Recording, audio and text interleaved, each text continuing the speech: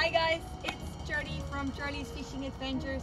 Today we're going to try to catch some pike on this big lake behind us and I'm going to show you what's in my box.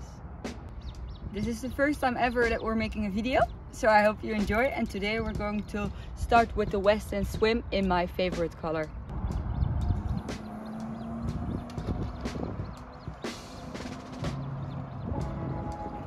What I really like about the Westin Swim is when you reel it in, it makes a very nice action in the water.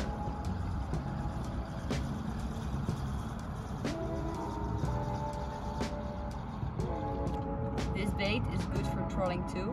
That's therefore I do have it in many colors. Um, and I think it's one of my favorite baits, which I have in my box. it is important to bring some different baits with you, like these shads.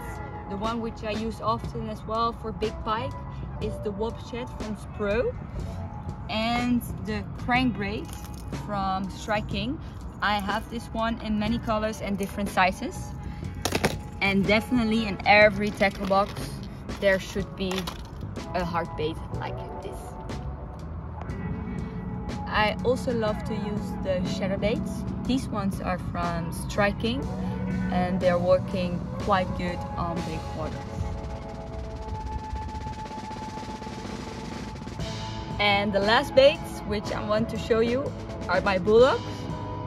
I think my bulldog is the absolute favorite for catching pike.